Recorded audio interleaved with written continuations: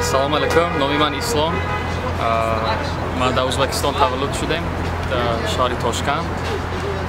مادرم سمرخندی پدرم افغان است ده سال پیش سال 2005 امسال ما در امریکا آمدیم ای تاولیه در نیویورک زندگانی می‌کنیم در خونه ما فارسی گپ می‌زنیم پدرم و مادرم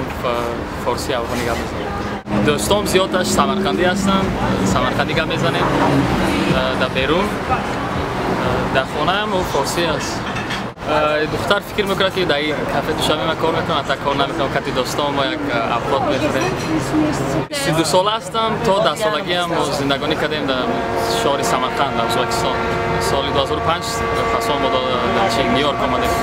در افغانستان تا حالی ما نبودیم نه. لیکن در سمرقند در آخرانگی ده سال یک پنج شش بار در اونجا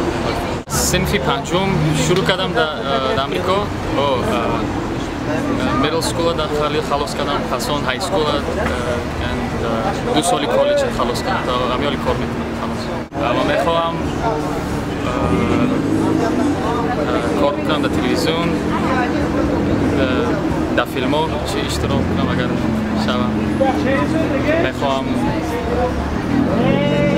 سنگ سان کنم چی میخوام فرانسوی میخوام و چی کنم من